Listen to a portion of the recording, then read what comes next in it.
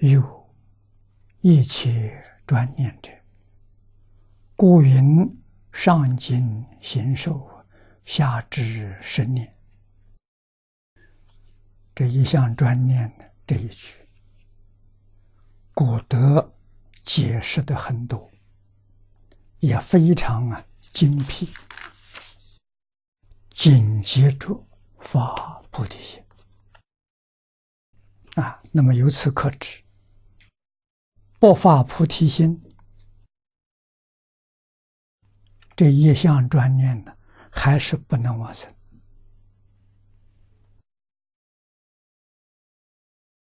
发了菩提心，没有一项专念，也不能往生。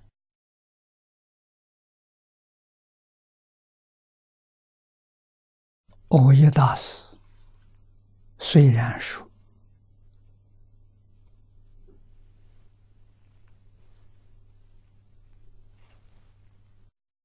能不能往生，决定在幸运之有。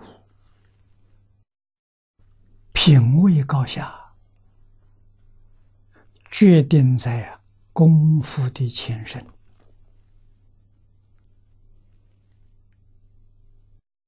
好像发心跟念佛是两桩事情，实际上是分不开的一桩事情。啊，决定分不开。为什么？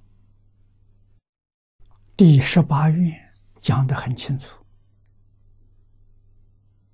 临命终时，生念决定得生，啊，最后还是落在要念佛了。那个生念就是一项专念，啊，十句。念念相续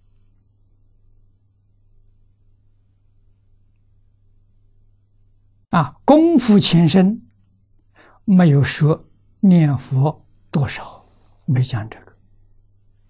这一点我们要注意到啊！不是说一天念十万声就能往生，品位就高，不是的。功夫前身。人家念一句，功夫深的人，比我们念一百万句都不止。为什么？如果是散乱心念佛，就没有功夫了。啊，一心念佛就有功夫。一心是没有杂念，没有妄想，没有分别，没有执着。这一念可不得了啊！为什么这一念是真心在念啊？我们一般人念佛是用妄心在念，念佛的时候有妄想、有杂念啊，甚至有牵挂、有忧虑啊，这个功。这个虽然念呢没功夫啊，人家念的很少，一天只念个十句，念个一百句，但是他是一心专念，这就叫功夫啊！功夫深的真的是没有杂念。那么，念佛功夫跟发菩提心有密切关系。真正用菩提心念，这功夫深呐！啊，所以菩提心不能不讲清楚，不搞明白，关系太大了。